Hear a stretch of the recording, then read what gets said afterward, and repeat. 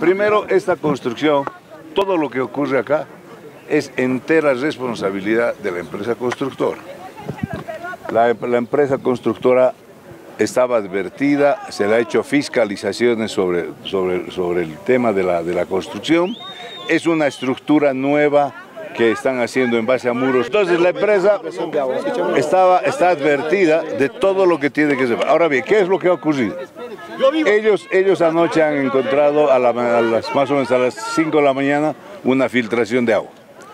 Han, han empezado a ver que se ha cortado, la, se ha afectado la tubería de EPSAS y eso, que es que como es mucha fuerza de agua, eso ha provocado que el muro portante ceda y de este lugar, final Campos, final 20 de octubre, ha caído.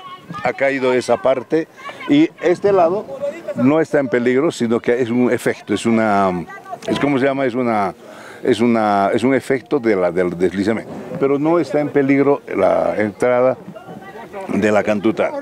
También el edificio, el edificio de acá, eh, que es de la ANH, tampoco está en peligro y este edificio de acá, los edificios de acá tampoco están en peligro. ¿Por qué? Porque los muros no han cedido, sino que es un efecto de, de la caída grande de este lugar.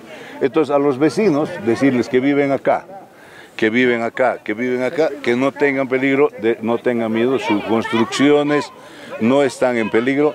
Lo que la empresa está haciendo es ya asumir toda la responsabilidad, la empresa va a tomar las medidas el día de hoy mismo. Los vecinos quiero que no se alarmen, no hay ninguna orden de evacuación, por favor.